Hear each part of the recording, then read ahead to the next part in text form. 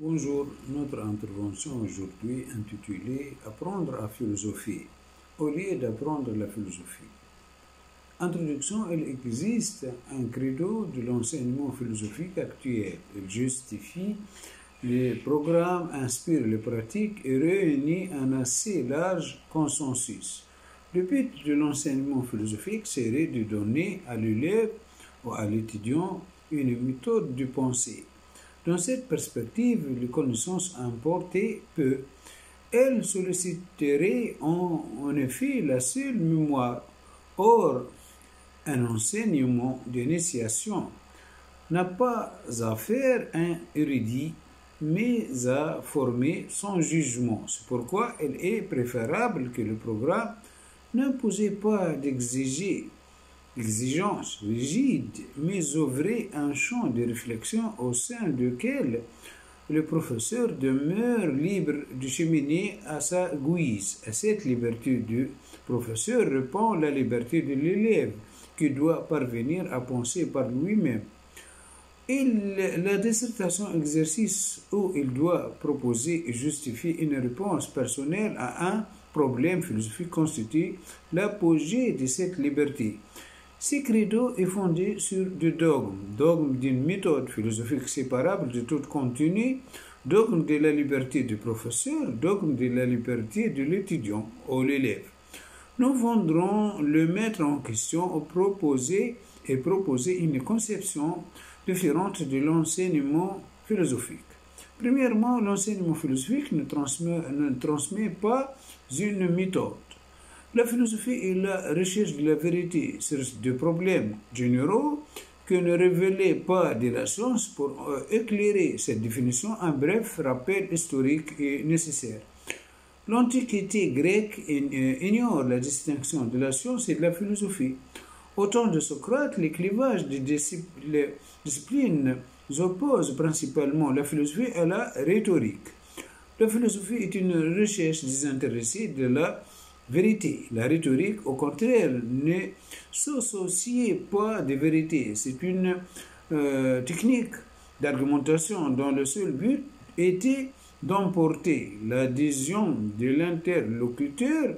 Le dialogue de Platon opposé continuellement à l'avocat. Donc, le but est seulement de convaincre au besoin en utilisant des raisons fausses mais prestigieuses.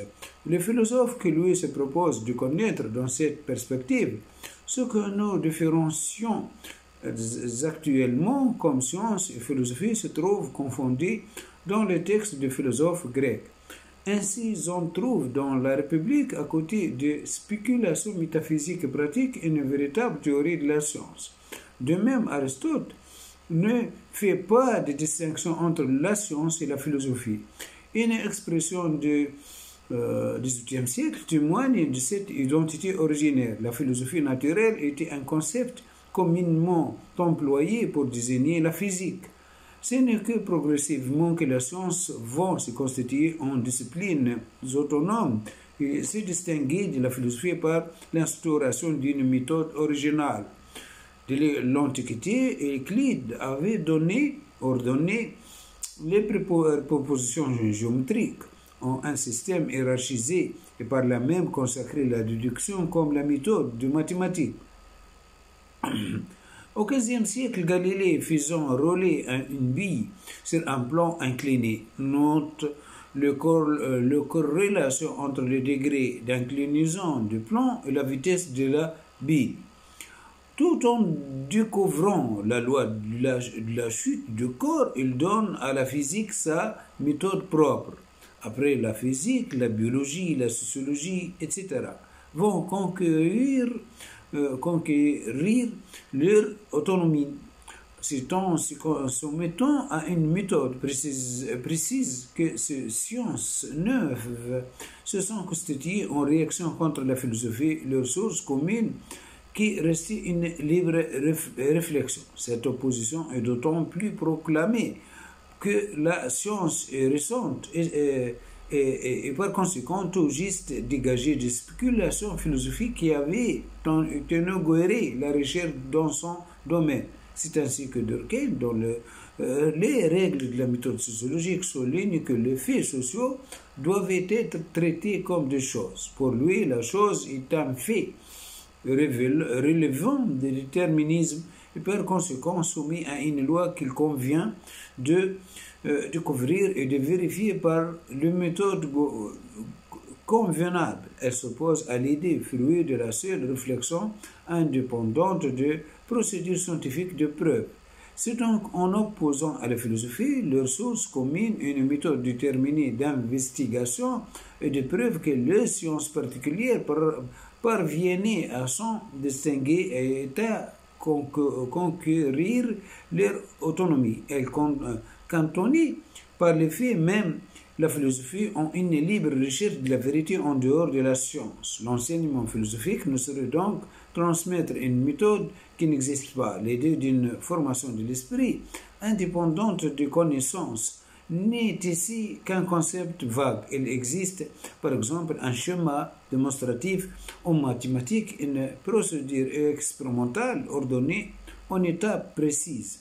On peut légitimement soutenir l'insignifiance éducative du théorème et de loi considérés comme des résultats et privilégier leur méthode de découverte et de preuve pour la formation de l'esprit.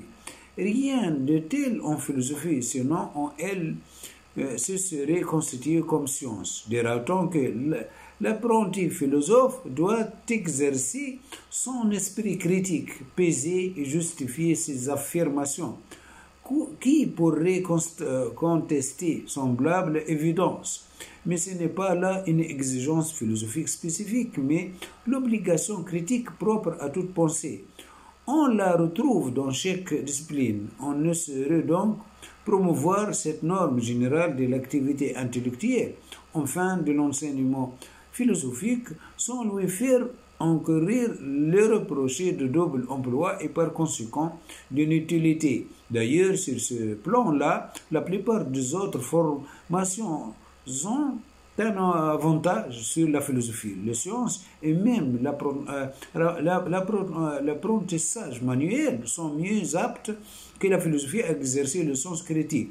En effet, la matière résiste et dans ce domaine, la faute du jugement est immédiatement sanctionnée.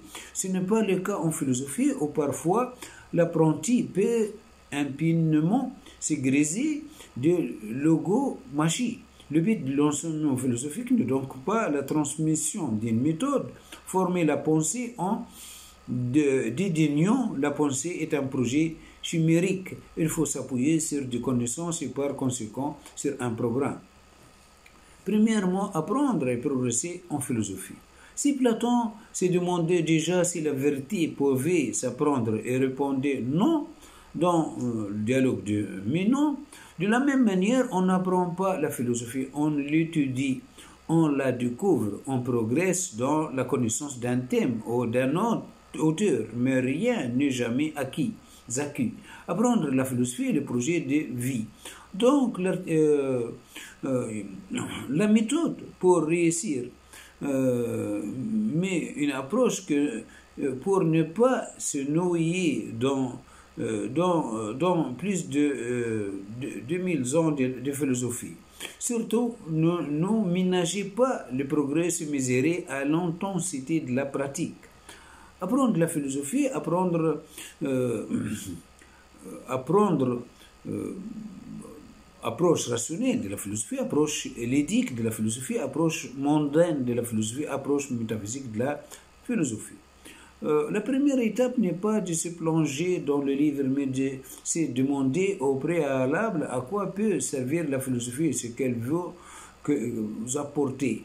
Posez-vous les questions suivantes. La philosophie doit être m'apporter des connaissances Si oui, vous avez une approche rationnelle scientifique. La, philosophie doit-elle me désastrer Si oui, vous avez une approche ludique de la philosophie. La philosophie doit-elle me, permettre de briller dans les derniers Si oui, votre vision de la philosophie est mondaine. La philosophie doit-elle répondre aux grandes questions de la vie? Si oui, vous avez une approche métaphysique de la philosophie. Bien sûr, ces approches peuvent être combinées, mais un domaine doit doit surgir dans ces questionnements. Euh, posez-vous ces questions, euh, elle permettait de définir l'angle d'attaque de la philosophie. C'est une discipline qui a plus de 2500 ans. Il faut donc savoir par quoi commencer. À défaut, vous avez y perdrez. Pour apprendre la philosophie, il faut bien sûr lire et, beaucoup, mais ce ne vous limitez pas au format papier. Pensez aux sites, aux euh, vidéos, aux euh, euh, approches maintenant rationnelles de la philosophie. Descartes semble être fait pour vous. Le discours de la méthode devrait vous convaincre de l'intérêt de la philosophie. Passez ensuite à Platon, notamment l'apologie de Socrate, dialogue court et, accessible. Approche euh, l'édicte de la philosophie, vous ne souhaitez pas vous encombrer d'une euh, philosophie ardue. Dans ces cas, préférez le, revue de la philosophie euh, aux grandes œuvres. Vous pouvez aussi regarder très bien faites approche euh, mondaine de la philosophie, vous souhaitez utiliser la philosophie à des fins sociales, lancer de mots tels que ontothéologie, transcendance ou scatologie pour étaper ou épater la galerie. Dans ce cas, euh, il ne vous servira à rien de pousser vos lectures très loin. Lisez plutôt du recueil de citations. Si les recueils sont organisés en thèmes, il faut permettront de briller avec des citations de philosophie à propos. Euh, vous pouvez aussi lire des auteurs très compliqués, tels que comme Heidegger, Être temps ou Hegel, de l'esprit, que peu de monde connaît, mais le jeu n'en vaut peut-être pas la chandelle. Et si vous tombez sur un connaisseur, votre vernis philosophique ne tiendra pas approche métaphysique de la philosophie, vous voyez la philosophie comme un moyen de répondre aux grandes questions de la vie, une source de réponse, comme le disait Schopenhauer. L'homme est un animal métaphysique, c'est un chemin long qui vous attend, car la philosophie pose souvent plus de questions qu'elle ne donne pas de réponses. L'interrogation philosophique est sans fin, comme le disait Kierkegaard. Ce n'est pas le chemin qui, qui est long, c'est le long qui est le chemin. Mais pour commencer, nous, vous conseillons le livre et le philosophe suivant. Euh, sur Dieu et la métaphysique, la monologie de Leibniz, ainsi par les Zarathustra de Nietzsche, l'être et l'union de Sartre. Sur la morale, Aristote, éthique Nicoma, Kant, critique de la raison pratique, Hume, traité de la nature humaine, Spinoza, éthique en Jonas, principe de responsabilité, Épicure, l'être aminécie. C'est la politique, le capital de Marx, la République de Platon, projet de paix pour perpétuel de Kant, le Léviathan de Hobbes, le contrat social de Rousseau, théorie de la justice, Rawls. Euh, prenez de note de vos lectures et d'activités philosophiques, quelles que soient euh, ces notes de lecture, vous serviront toujours. Apprendre la philosophie, discuter de vos lectures. Si votre euh, entourage n'est pas réceptif, plusieurs solutions allez sur Internet, les amateurs de philosophie seraient ravis d'engager le dialogue avec vous. Rendez-vous dans les cafés du philo ou des conférences débat. Apprendre la philosophie, réaliser de, de, de, de, découvrir de nouveaux thèmes et de nouveaux auteurs. Contrairement à la littérature, la philosophie ne se lit pas vraiment, mais s'étudie plutôt. Euh, voilà notre intervention intitulée Apprendre à, philosophier. Euh, au lieu d'apprendre à la philosophie est terminée. Euh, merci bien de votre attention. Au revoir.